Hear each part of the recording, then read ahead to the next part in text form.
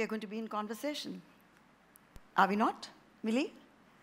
Thank you, Millie. Thank you, Poonam. Thank you, Team Penguin. Thank you, Shahrukh. Thank you all. It's, um, it's a book that I hope, and I'm, I'm looking at someone sitting right there who I want to write the next book. She's still shying away from addressing it, but I know I'm going to get it out of her. She says she's too young to write it. I said there is no such thing. You can write your first book at 23, and it will still be amazing because there are millions of young 23 year olds out there, or even 63 year olds, who would want to read your story, Alia. Just do it. So, Karan, let's get the easy stuff out of the way right now. The easiest part of the book, right? Why is India obsessed by your sexuality? Easy. Uh-huh.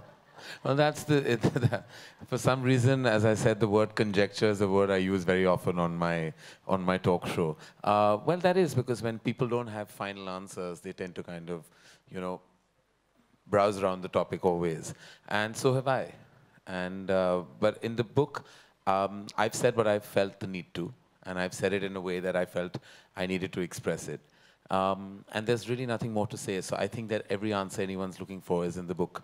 You know, there are several moments in that book where you talk about people confronting you at airports, yeah. at parties, and saying the most gross things, the most insensitive things, and you come back to them is sassy but also a little sad. Why do you have to why should anyone have to explain any aspect of their lives at all or defend it? I think pe people sometimes, um, you know, when you're in the celebrity uh, zone, I think people tend to sometimes just not know what to say. Like I feel like when they encounter you, uh, they either tend to overcompensate and, and say exceptionally polite things, or they'll say the most inappropriate things to you. I think anyone who's been in the celebrity space will tell you that you'll have people come and say the most overfamiliar things to you at times. And sometimes because they think that they own you because you're in their living room on a daily basis, perhaps because of the, my television exposure, or the fact that one is around and, and all over the place, they feel they have an ownership over you. And sometimes that allows them to kind of cross the boundary of decency. And they'll say things that are inappropriate. And you'll have to stand there. Sometimes you can give a response back, which sometimes goes over their head because it's not a straight lined answer. And sometimes you use sarcasm, which also sometimes doesn't get a response. Sometimes all you do is just, you know, like like like Shahrukh told me the other day, uh, that now when people say things, he just just nods because he because there's nothing else to say. Sometimes you just nod because people say the most bizarre things, and it's not. It's sometimes it's it's members of of the fraternity. Sometimes it's members of the media within the fraternity. Sometimes it's random strangers at an airport. Like, and you have to just deal with it. There's nothing you can do. You can't. At least I'm not the guy who's going to start getting into a a, a fight because that's. I don't think I'll have. Um, the ability to handle it if I was at the receiving end. So uh, I, I just let it pass. May I share that one moment at the airport, which is in your book, so everyone's going to read it anyway, right. where a person comes up to you, uh, he, uh, his wife is with him, and he walks up to you and say, says to you, so are you a homo? Yeah. And your response is, why? Are you interested? and I thought that was just fabulous. That's, you know, the aplomb that and the tight slap that probably the man warranted. Well, it was I, I, I, it was what came out uh, like literally it just came out very um, because I thought it was an exceptionally inappropriate thing. And the wife was clicking a photograph of mine while he was asking me this question. And he asked me, patting me on my back. It wasn't just a car. It was an overfamiliar pat, like as if like I had like like we had dinner last night, and he decided to ask me this question early in the morning. And it's happened to me. It's also in the book when I was on uh, the launch of a channel, and it was an early morning breakfast interview where I was asked an inappropriate question, and I was I was completely shocked that we were on national television. Of course, it never made it because they realized that it was completely wrong. Luck, fortunately, it wasn't a live telecast. But sometimes you just wonder whether people just don't have the sensitivity or the decency, or to sometimes use language to ask a question that may not come across inappropriate. There are various ways. We are all, I'm a member of the media myself, I host a talk show, and I know sometimes when you want to kind of ask something, you can circumvent it with words and vocabulary. You don't suddenly just go out there and ask in the, in the pretense of being completely candid, or then uh, irreverent or perhaps overfamiliar. But you know, the surprising part of the book, uh, towards the end of the book, when you talk about um, maybe going on to dating sites, I found that fascinating. That you went on to an elite dating site and a date was set up for you in Tokyo. And you said, why should I go to to- Tokyo to meet someone? How Well- did you get onto these uh, dating sites? I mean, That's why? a story in itself. Uh, Yeah. Sometimes you have to kind of scratch the surface to find, uh, you know, what's not immediately available. Uh, so there are various ways and means I think people sometimes have to kind of look at. Um, when you're single and 44, you'll probably go through every kind of possible available opportunity. I thought that was fantastic because most people would not admit it. I would have actually They'd liked to give the addicted, but they name. It was a selective. I would have liked to give them the name, but they're so exclusive and and quiet and uh, have full like you know disclosure issues. Uh, so that's why I didn't give that information. Not that anything's come out of it, and I'm not a success story of their agency at all. Um, in fact, I'm a rather uh, apparently two out of three people succeed, and I'm that one who failed. You also talked about uh, three and a half failed relationships, one true love, and I think three and a half failed relationships. You've spoken about it with uh, a great deal of some, some amount of regret and but compassion, empathy about why they didn't work out. Well, they were not any relationships. They were mostly unrequited love situations, uh, which is great fodder for a filmmaker, not so great for a personal life. Um, yeah, I mean, I suppose that comes from your sense of indulgence uh, and over expectation. Sometimes you tend to expect from quarters that you know won't deliver, and that invariably happens when you know you. And that's what I call indulgence. Is like if I had a pragmatic approach to love, uh, which is not possible with me, I would possibly have been in a long-standing relationship. But I've always desired what I know I can't have. You also talked about uh, divorce being the new marriage. And throughout the book, there is a kind of a, st- a, strand which keeps going back to infidelity. And it's like almost a semi obsessive um aspect of your creative process to, to deconstruct everybody's marriages and to see who's Well, I- cheating, who's lying, Well, I who's, don't- who's I living don't- a lie. Because truly, in my experience, I think there's much ado about fidelity and infidelity. I think sometimes true emotion and relationships can go beyond those. And being a single bystander, you tend to be so close to so many relationships and marriages. And in my experience, and I say this, I with, and I don't have any kind of, um, with, with all kinds of moral policing on my statement, I'm sure, but I don't think infidelity is a deal breaker. I don't think, I don't believe it's it not is. a deal breaker. No, I don't think so. It has a lot to do with uh, both of you being successful, very successful in your own right. You say that, that friendships in show business can only succeed if the two people involved are equally successful. Is there something like friendship at all in showbiz? I've made some very strong friendships. Everyone in this room today is from my industry. Um, I, my relationships define me. Um, I, we're low on family. We have very few relatives that we're really connected with, me and my mom. So most of my personal connections are my family, and they're my extended family. I've made the most amazing relationships. In fact, um, I say this to Gauri um, that I think I'm one of the reasons what I made her love people in the movies because uh, when she was initially when she came in, she was so reluctant to meet people because everyone comes with baggage.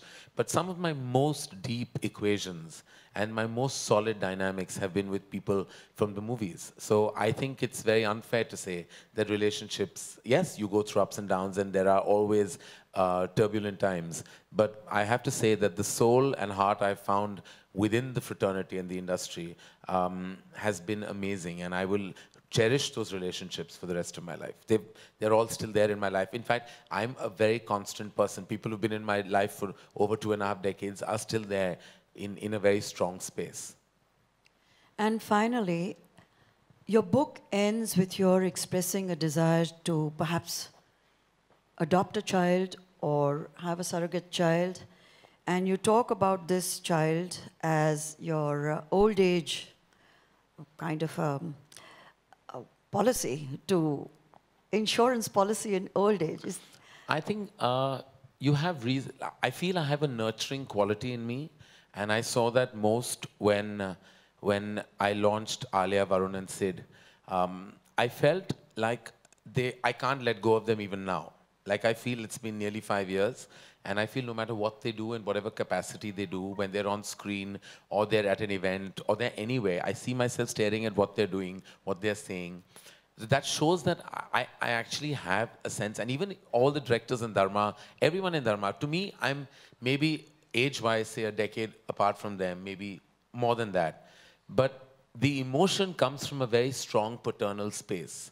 And I feel like I would like to take that forward. I don't know what I'm going to do about it, but I feel like I would like to be a parent. I don't know in what capacity. I don't know how it's going to happen. I have no clue and I don't have answers to those questions. But I do feel the need because I feel I have love to offer.